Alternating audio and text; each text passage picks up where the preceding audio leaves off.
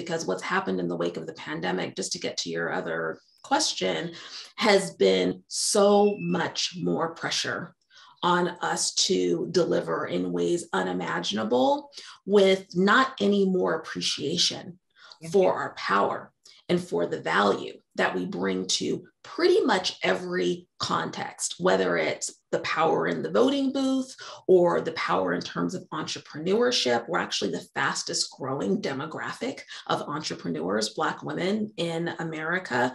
Wherever you look, Black women are slaying. Um, but the value of that power is just not appreciated. It's not materialized. And so that is what begins to weigh. And that's why Minda's strategies around your mental health, but also communicating at home and at work are so important.